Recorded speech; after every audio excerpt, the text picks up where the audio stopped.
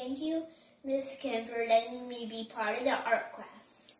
Sometimes it's hard to draw, but you make it easier. Happy Thanksgiving.